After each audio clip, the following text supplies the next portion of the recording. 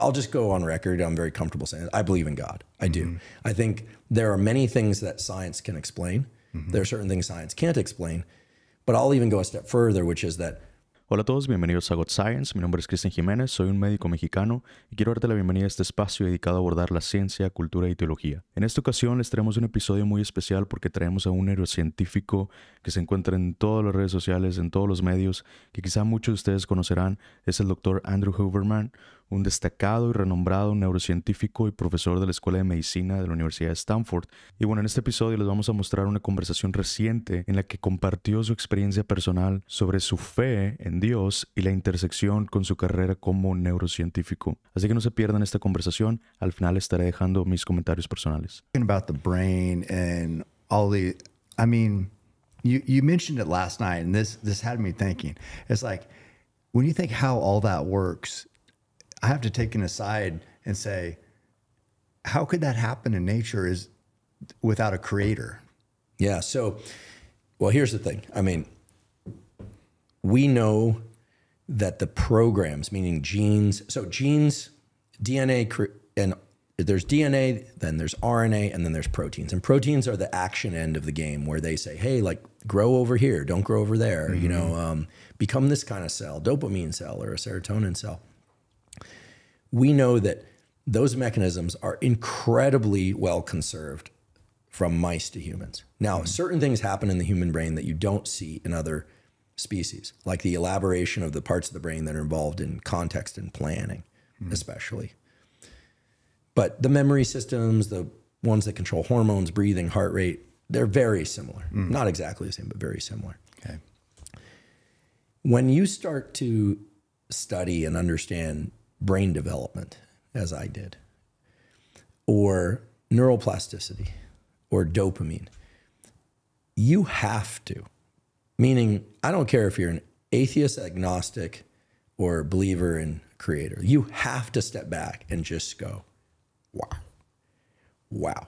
Now, then, of course, there's this difference among scientists as to who believes in God, who mm-hmm. doesn't. I'll just go on record. I'm very comfortable saying it. I believe in God. I do. Mm-hmm. I think there are many things that science can explain. Mm-hmm. There are certain things science can't explain. But I'll even go a step further, which is that all the elements of science are entirely compatible with the idea of there being a God. And I'm not the first scientist to say this. I mean, mm-hmm. Einstein believed in God. Um, Carl Jung, one of the greatest psychologists ever, clearly believed in God. There are many atheist scientists. There are agnostic scientists who are just kind of like unsure, right? Mm-hmm. And, you know, for me, I'm in absolute awe, absolute awe of biology. Mm-hmm. It's just incredible that we're sitting here having this conversation. Is just it's that with language that there are little sound waves that are, you're perceiving and understanding. I mean, it's just, and I think the brain represents the apex of incredible in terms of biology. Like the heart is interesting, the immune system is interesting, the liver is interesting, but the brain is unbelievable. Yeah. I mean, think about the number of different ways you can move your body compared to another species. Mm-hmm. Think about what you did today. Think about what I was attempting to do today, right? yeah spectacular. Think about technology, these lights, the, you know, Tesla cars, spaceships. I mean, yeah the internet. I mean, unbelievable. Mm-hmm. And yet, oh, so real. yeah So, you know, I mean, we could talk a bit about how I, you know, well, I'll just say this. Secretly, I've always prayed. I grew up in a split religion home. My family's like the UN. We've got people from Guatemala, uh, Denmark, Argentina, New York. Like all the different political battles are in my family. Super left, super right, libertarians, lefties to the, you know, it's crazy. Uh, Thanksgivings can be difficult. yeah But I'll say this, you know, I I absolutely pray. I absolutely love that the idea, but also what for me is really a deep belief, which is that we can't control everything. We're not in as much control as we think we are. And that the magnificence of biology and the magnificence of of nature is um, it, it's it's impossible to, for me to conceive how that could be come about any other way. It just is. Now, yeah, I mean, I think that you know, full stop.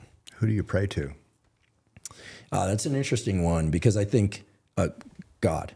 Yeah. So I, I absolutely do. I've actually started reading the Bible recently, start to finish. I, I feel like it's my duty to like learn and in some sense compare Old and New Testament.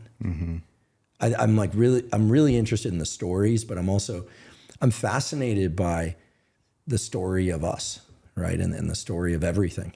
And so, but yeah, I pray out loud in the morning, um, sometimes again in the middle of the night if I wake up, and um, and it's only recently that I've been doing this more often. It's giving you peace. Or Oh my goodness, it's given me so much. It's given me peace.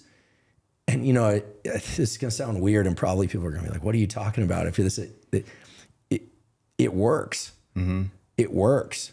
There's a, there's a way in which certain things I was grappling with, you know, um, I just couldn't resolve. I couldn't do it, and it was all internal, and I just couldn't do it. Wha- what? How were you trying to resolve these things? Like have an answer. yeah discipline myself i mean it wasn't like i was super uh, you know undisciplined i mean obviously i have a lot of self-discipline but Yeah. you know I, like I, I always pray you know i want to remove my defects of character i want to um, you know I, I certainly pray for other people um, I, I mostly you know these days i pray for the ability to really harness as much care and love for other people and for myself, something I haven't been that good at in my lifetime, um, in order to be able to put the best possible work into the world, to really serve. Like I really see myself as serving higher power, like I'm a conduit. Right. Um, and the better I can do that, the better I'm serving. The better I'm serving, the more I feel connected to humanity. Do you think that with this, with this, I don't know if you've always felt like this. It sounds like it's more of a, a newer, newer feeling. But Somewhat, although secretly. yeah, Like in Santa Barbara, I'll just say there's this place, Sands Beach, down at the end of the beach. If anyone's ever been there, and Mm-hmm. I used to run down there once a week. I always did a long run, long for me, run on Sunday, yeah. minus a 72 pound rock. Right. Hmm. And I would pray, and I just pray for, you know, be honest with myself, be honest with others. and that was years ago. I was 18, Oh, okay. 19, 20. So, um, and then, you know, I've seen some hardship along the way. I mean, I would just mention that I've had three amazing scientific advisors. You know, Harry shot himself two weeks after I told him we published a paper in Science. He said, Come on down to Santa Barbara. It'd be great to take you out for pizza and celebrate. Two weeks later, ate a bullet in the bathtub.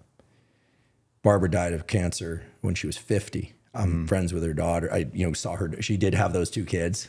Yeah. One's a neuroscientist Oh man. um, at McGill, and um, she was like a mom to me. Mm-hmm. She died. I was speaking at her memorial, and then my postdoc advisor died. He was a pretty impressive guy in his own right, and so I, at one point I'm thinking like, what's going on? You know, I'm the common denominator. How am I picking these people? But they were amazing, and you know, I had some friends commit suicide. You know, this kind of thing, and and you know, you live long enough, that's going to happen. People are going to go. Mm-hmm. That's just the reality. Mm-hmm. But there were times I'm like, you know, it was dark. It was, you know, like, where am I? Why? Why me? And at those moments too, just accepting that there's a plan and it's happening for a reason and I don't know what it is and just putting my trust in that allowed me to to grieve those things properly and to really try and you know I got the message I got the download to take the lessons from them and just not waste a single day hmm. and to do things that re- I really felt mattered.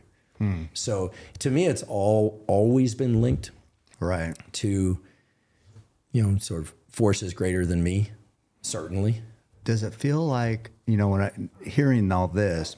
Does it feel like once you've taken like the, a, a more I don't know intentional turn for being grateful and praying, you're not drinking since 2019.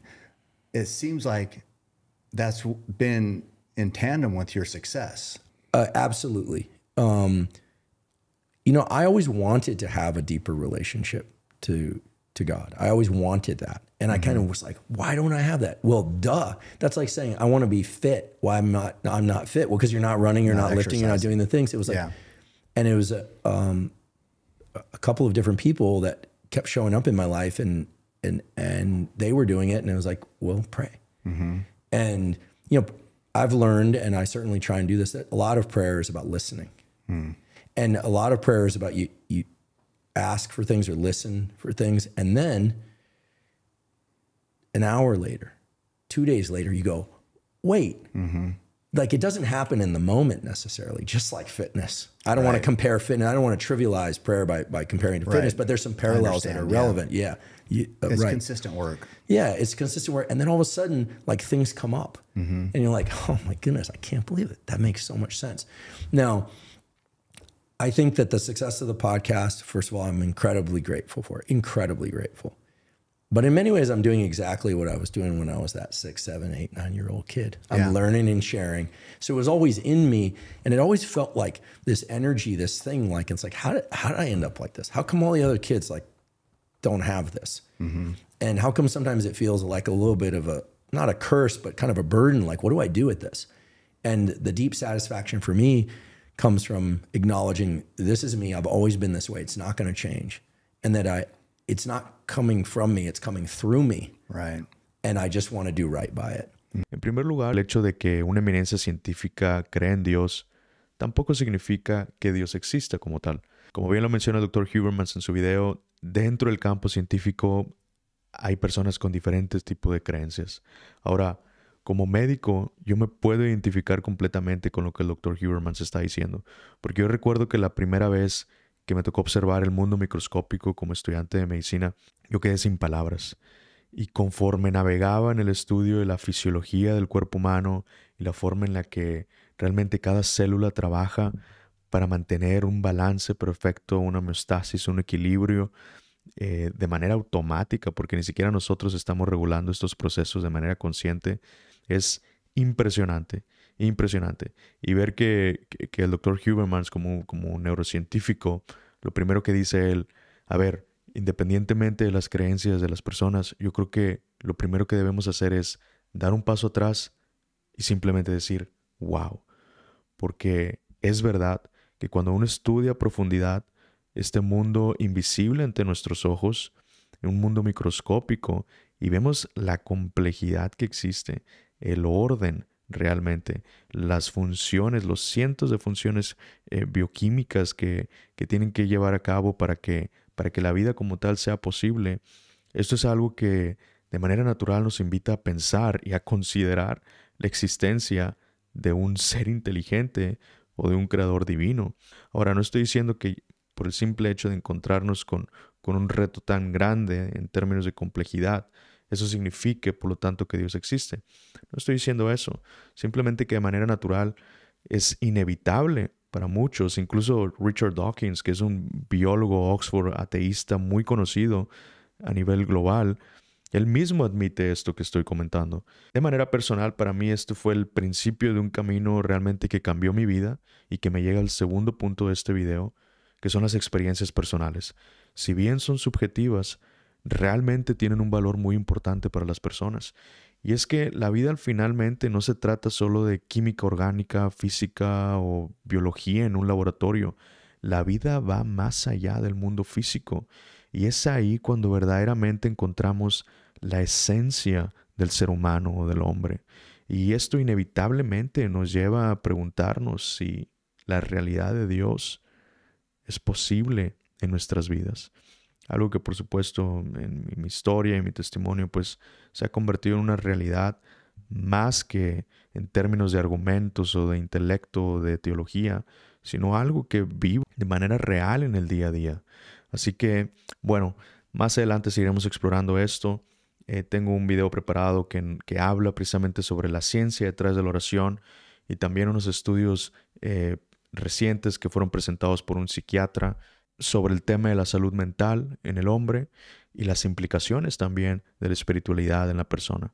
Así que bueno, espero que les guste nuestro trabajo. Aquellos que quieran ver más información, vean la descripción del video, ahí encontrarán los enlaces. Y bueno, aquellos que quieran apoyarnos, les agradecemos mucho nos vemos hasta la próxima. Gracias.